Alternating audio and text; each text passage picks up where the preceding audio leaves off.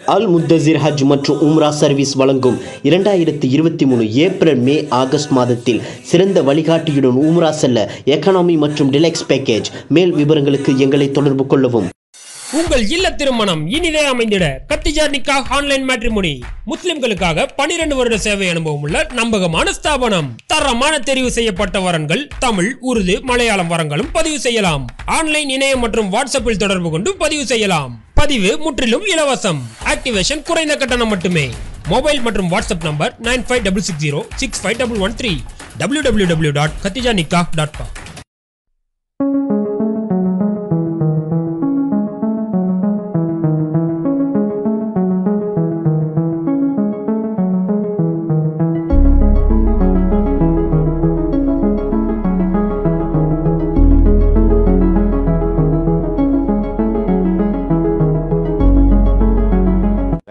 ஷைத்தான் ரஜீம் சுல்லா ரஹ்மான் ரஹீம் அன்பார்ந்த நேயர்களே அண்மையிலே உலகத்திலே ஏற்பட்ட ஒரு நிகழ்வை உலக நாடுகளெல்லாம் மிகப்பெரிய சொற்களை கொண்டு அலங்காரமாக பேசுகின்றன. அது ஈரானுக்கும் சவுதி அரேபியாவுக்கும் இடையிலே இருந்த கரடு முரடான உறவு இப்பொழுது சீர் செய்யப்பட்டு விட்டது. ரெண்டு நாடுகளும் நட்பு நாடுகளாக ஆகிவிட்டன என்பதுதான். இதை சேஞ்சிங் குளோபல் ஆர்டர் என்று சொல்கிறார்கள் உலகத்தினுடைய ஒழுங்குமுறையே மாறுகிறது என்று பெரிய வார்த்தைகளால் சொல்லுகிறார்கள். ஏன் அவ்வளோ பெரிய வார்த்தை அவர்கள் சொல்ல வேண்டும்? சைனாவினுடைய ஏற்பாட்டிலே நடந்ததாக சொல்கிறார்கள் ஆனால் ரெண்டாயிரத்தி இருபத்தி ரெண்டிலே இருந்து இருந்த சில நல்ல உள்ளங்கொண்ட முஸ்லீம்கள் இந்த ரெண்டு நாடுகளும் சண்டையிட்டு கொண்டு இருக்கக்கூடாது ஏனென்றால் அமெரிக்கா இந்த நாடுகளை தன்னுடைய வசதிக்கு ஏற்படுப்ப பயன்படுத்திக் கொள்கிறது. குறிப்பாக சவுதி அரேபியாவை அது பயன்படுத்திக் கொள்கிறது. இஸ்ரேலுக்கு எதிராக ஈரானும் துருக்கி போன்ற நாடுகளும் ஒன்று மிகவும் தீர்க்கமாக துணிவோடு ஏற்று நிற்பதால் அதை சீர் செய்ய அல்லது அவர்களை தீவிரவாத நாடுகள் என்று சொல்வதற்கு சவுதி அரேபியா போன்ற நாடுகள் தேவைப்படுகிறது அமெரிக்காவுக்கு இந்த நிலையை மாற்ற வேண்டும் என்று எடுத்த முயற்சி இப்பொழுது வெற்றி பெற்று இருக்கிறது. இதில் ஒரு வரலாற்று நிகழ்வு அதில் பெருமானா சொல்லல்லா வளைவு சொல்லம் அவர்களுக்கு பிறகு யார் ஆட்சிக்கு வர வேண்டும் வேண்டும் என்பதில் ஏற்பட்ட கருத்து வேறுபாடு அந்த கருத்து வேறுபாடு ஆயிரத்தி நானூறு வருஷத்துக்கு முன்னாடி வந்தது. அது புதைக்கப்பட்டு எவ்வளோ நாளாக்கு நாட்கள் ஆகிவிட்டது. இருந்தாலும் இஸ்லாத்தின் எதிரிகள் ஷியாக்கள் என்றும் சுன்னிகள் என்றும் முஸ்லீம்களை பிரித்து தங்களுடைய இலக்குகளை அடைந்து கொள்வதற்கு பயன்படுத்தி வந்தார்கள். ஆயிரத்தி தொள்ளாயிரத்தி எழுபத்தி ஒன்பதில்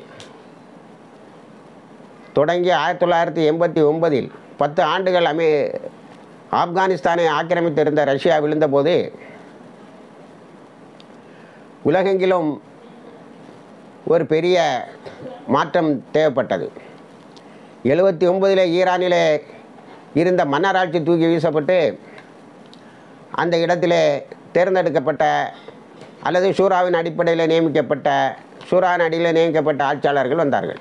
இஸ்லாமிய முறைப்படி அந்த ஆட்சி முறை அமைக்கப்பட்டது. அதனை இன்னும் வரலாற்று ஆசிரியர்கள் ஈரான்ஸ் இஸ்லாமிக் ரெவல்யூஷன் என்று தான் சொல்லுவார்கள். அதில் மிகவும் தெளிவாக நின்ற செய்தி மன்னராட்சி ஒழிக்கப்பட்டது என்பதுதான். இந்த மன்னராட்சி ஒழிக்கப்பட்டவுடன் சவுதி போன்ற மன்னராட்சியை நம்பியே வாழ்ந்து கொண்டிருந்த மக்களுக்கு ஒரு பீதி ஒரு கலக்கம். எல்லா இடமும் இதுபோல் மக்கள் கிளந்தெழுந்து மன்னராட்சி வேண்டாம். இஸ்லாமிய முறைப்படி ஆட்சியாளர்கள் சூறாவின் அடிப்படையில் தேர்ந்தெடுக்கப்படக்கூடிய ஒரு நிலை வர வேண்டும் என்று அவர்கள் பொங்கி எழுந்து விடுவார்களோ என்று பயந்து உலகெங்கிலும் இந்த சியாசின் டிஃப்ரென்ஸை பெருசாக்குவதற்கு அந்த பிரிவை பெருசாக்கு பெருசாக்குவதற்கு பெரிய பிரச்சாரங்களை செய்தார்கள். அமெரிக்கா சதாம் ஹுசேனை விட்டு ஈரான் மீது யுத்தம் தொடு தொடுத்தது? அந்த யுத்தத்தில் கடைசி நேரத்தில் சதாம் ஹுசேன் தன்னை காப்பாற்றிக் கொள்ள முடியாமல் அவன் சிறப்பாக வைத்திருந்த நூற்றி ஐம்பத்தி ரெண்டு விமானங்களை ஈரானுக்கு அனுப்பினான். இந்த சந்தடி சாக்கில் ஈராக்கில் இருந்த அணு மின் நிலையம் ஒன்று அதாவது அணு குண்டு தயாரிக்கக்கூடிய ஆராய்ச்சி நிறுவனம் ஒன்று குண்டு போட்டு அழிக்கப்பட்டது. இப்படி இவர்களுடைய ப பகடைக்காயாக அவர்கள் அந்த நாடுகளை பயன்படுத்தி கொண்டிருந்தார்கள். எந்த அளவுக்கு இந்த ரெண்டு நாடுகளையும் அவர்கள் பிரித்து பிளந்து வைத்திருந்தார்கள் என்று சொன்னால் ரெண்டாயிரத்தி பதினாலிலே நோன்பு நேரத்தின் போது கத்தருக்கு ஒரு பெரிய பிளாக்கேடு கத்தர் பிளாக்கேடு என்று சொல்வார்கள். கத்தர் நாட்டுக்கு நோன்பு துறக்குவதற்கு தண்ணியும் பல வகைகளும் மற்ற உணவுகளும் கிடைக்காமல் செய்வது என்ற பணியை சவுதி அரேபியா விட்டு செய்தார்கள். ஈரானும் துருக்கியும் மலேசியாவும் இன்னும் இது போன்ற நேச நாடுகளும் அந்த சுச்சுவேஷனிலிருந்து கத்தரை காப்பாற்றி வெளியே கொண்டு வந்தது. இந்த அளவுக்கு ஒரு முஸ்லீம் நாடு இஸ்லாத்தின் மார்பிடம் என்று கருதப்படக்கூடிய நாடு பக்கத்தில் இருக்கின்ற நாட்டுக்கு நோன்பு திறக்கின்ற நேரத்தில் பொருளாதார தடைகளை விதித்து உணவுப் பொருட்கள் போய் சேராத ஒரு நெருக்கடி நிலையை ஏற்படுத்தியது. காரணம் கேட்டால் கத்தர் ஈரானுக்கு உதவி செய்கிறது ஈரான் ஒரு தீவிர நா வாத நாடு என்று. அதன் பிறகு இப்படியே தொடர்ந்து அந்த பகுதியில் பல யுத்தங்களை நடத்துவதற்கு இந்த ரெண்டு நாடுகளையும் பயன்படுத்தினார்கள். இதில் மக்காவில் ரெண்டாயிரத்தி பதினாறில் மக்கா ஹரம் ஷரீஃபை பெருசாகி கொண்டு இருப்பதற்கு பல நூறு புல்டவுசர்கள் ஜேபி ஜேசிபிகள் இயங்கிக் கொண்டிருந்தன. அவை விழுந்தது ஒரு ரெண்டாயிரம் பேர் இறந்தார்கள். இதெல்லாம் ஈரானுடைய சதி என்று உடனே பரப்பிவிட்டார்கள். அந்த நிலையில் ஏஜாஸ் அகமது என்பவர் ஃப்ரண்ட் லைனில் ஒரு கட்டுரை எழுதினார். இந்த சியா சுன்னிகள் சுலி சியாக்கள் வாழாத பகுதிகளிலும் சியாக்களை வில்லனாக காட்டுகின்ற பல்கலைக்கழகங்களை ஐயாயிரத்துக்கு மேற்பட்ட கல்வி நிறுவனங்களை சவுதி அரேபியா பணம் கொடுத்து நடத்துகிறது என்று. உங்கள் வீட்டு வாசப்படியில் கூட இருக்கும். கேட்டால் பெரிய பெரிய ஏகத்துவத்தை பேசுவார்கள். எல்லா விஷயத்துக்கும் ஈரானை குறை சொல்வார்கள். அதற்கு சவுதியிடம் பெற வேண்டியதை பெற்றுக்கொள்வார்கள். அந்த நிலையில் ஈரான் ஒரு தீர்க்கமான முடிவை எடுத்தது. அமெரிக்கா ஹஜ்ஜாஜிகளை கொலை செய்துவிட்டு ஈரான் மீது பழி போட சொல்கிறது நீ பழி போடுகிறாய். ஆகவே நாங்கள் இதை வேறு விதமாக பார்க்க வேண்டியது வரும் என்று சொன்னார்கள். அடுத்த வருடம் ஒரு லட்சம் ஷியாக்களுக்கு ஈரான் குடிமக்களுக்கு ஹஜ்ஜி செய்வதற்கு விசாக்களை வழங்கியது சவுதி அரசு. வேண்டாம் என்று சொல்லிவிட்டார்கள் ஈரானியன். நாங்கள் இந்த வருடம் ஹஜ்ஜிக்கு வருவதில்லை.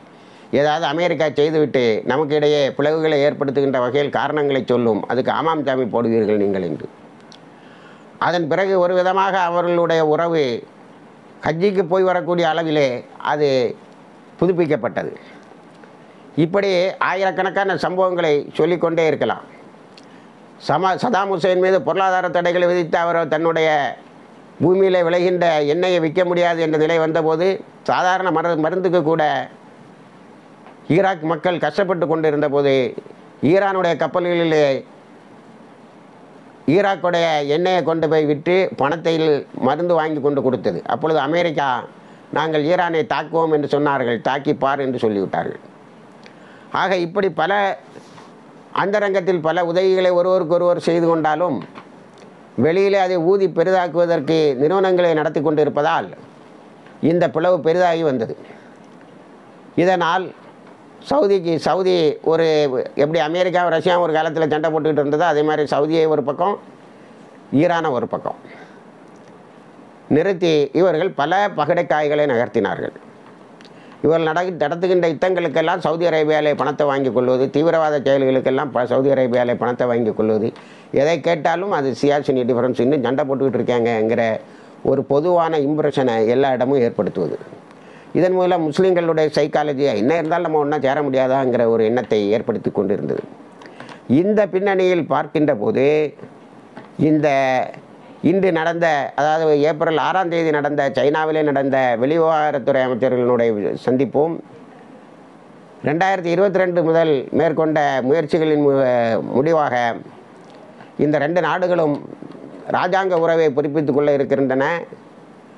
போக்குவரத்து ஃப்ளைட்டு போக்குவரத்து வசதிகளை ஏற்படுத்தி கொள்ள இருக்கிறது. வியாபார ஒப்பந்தங்களை போட்டுக்கொள்ள இருக்கிறது. இப்படி பல்வேறு விதமான வகையில் அந்த ரெண்டு நாடுகளும் நேச நாடுகளாக ஆகியிருக்கிறது. அமெரிக்காவுக்கு பொறுக்க முடியவில்லை. நாங்கள் எல்லாம் கவனித்து கொண்டு தான் இருக்கிறோம். எங்களிடத்தில் சவுதி அரேபியா எல்லாம் சொன்னது என சொல்லி கொண்டிருக்கிறார்கள். இதை இன்னும் யாரால் பொறுத்து கொள்ள முடியாது என்று சொன்னால் இஸ்ரேலால் பொறுத்து கொள்ள முடியாது. ஏனென்றால் இஸ்ரேல் பல ப்ராஜெக்டுகளுக்கும் சவுதி அரேபியாவை பயன்படுத்தி இருக்கிறது. முஸ்லீம்களுக்கு எதிரான தாக்குதலில். ஆக இஸ்ரேலுக்கு இனி பெரிய தலைவலி தான். ஏனென்று சொன்னால் ஏமனில் இருந்து வந்த அந்த பகை ஹவுத்திகளுக்கும் சவுதி அரேபியாவுக்கும் இருந்த சண்டை என்பதெல்லாம் ஓய்ந்து லெபனானில் இருக்கின்ற ஹிஸ்புல்லாவுக்கு இஸ்ரேல் எளிதான இலக்காக மாறிவிடும் என்ற அச்சம் இஸ்ரேலுக்கு இருக்கிறது. இந்த உறவுகள் வளர வாழ விடுவார்களா என்பது சந்தேகத்துக்குரியதே. ஆனால் இப்போதைக்கு அவர்கள் ஒன்றுபட்டு இருக்கிறார்கள். உடனே ராஜாங்க உறவுகளை ஆரங் ஆரம்பிக்க இருக்கிறார்கள். எம்பசிஸை ஓப்பன் பண்ணுவதை பற்றி பேசியிருக்கிறார்கள் இத்தனையும் சைனா செய்கிறது. ஏனென்று சொன்னால் இப்போ சைனா தான். சீனா தான் நம்மளுடைய அமெரிக்காவுக்கு எதிராக நின்று செயல்பட்டு கொண்டு இருக்கிறது சீனாவிலும் நிறைய குழப்பங்கள் உண்டு. இருந்தாலும் அது இதில் ஒரு சின்ன லீடு எடுக்க பார்க்கிறது. ஆனால் அது மட்டுமே காரணமல்ல. ரெண்டாயிரத்தி இருபத்தொன்று இருபத்தி ரெண்டுகளிலே இருந்து சில நல்ல முஸ்லீம்கள் எடுத்த முயற்சியில் முயழ்ந்ததாக இது இருக்கிறது. ஆக இந்த உறவு வளர வேண்டும். முஸ்லீம்களுக்கு இடையே இருக்கக்கூடிய பிளவுகள் முடிந்த வரைக்கும் குறைக்கப்பட வேண்டும். அவர்கள் மிகவும் அதிகமான சோதனைகளை சந்தித்து கொண்டு இருக்கிறார்கள் பாலஸ்தீனிலே நடந்து கொண்டிருப்பதாக இருந்தாலும் சரி உலக அரங்கிலே அவங்களுக்கு எதிராக இஸ்லாமோபோபியோ வளர்ந்து அது அவர்களுக்கிடையே சண்டைகளை மூட்டி விடுகின்ற ஒரு நிலையாக இருந்தாலும் சரி இந்த நிலைகளெல்லாம் மாற இது உதவ வேண்டும். ஆப்கானிஸ்தானில் முஜாஹிதுகள் ஆட்சியை பிடித்த காலகட்டத்தில் இருந்தே இஸ்லாமிய உலகம் வேறொரு வளத்தை பெற்றிருக்கிறது என்று தான் சொல்ல வேண்டும்.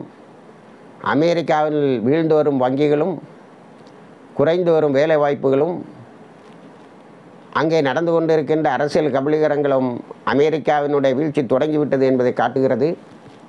இதனால் சேஞ்சிங் குளோபல் ஆர்டர் நியூ கோல் வேர்ல்டு ஆர்டர் புதிய ஒரு உலக சதுரங்கம் உருவாகலாம்.